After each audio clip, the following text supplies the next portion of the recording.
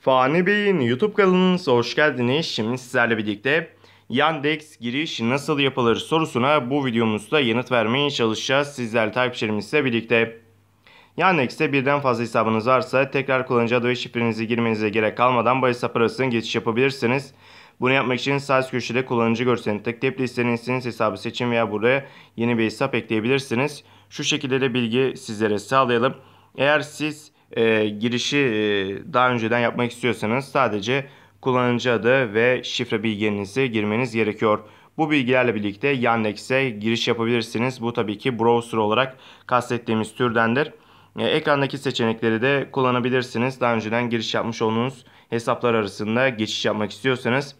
E, burada Yandex'e daha önceden kayıt olmadıysanız e, bu işlemi gerçekleştirmeniz ve aradan giriş yapmanız istenecektir. Bunun da bilgisini paylaşmış olalım sizlerle.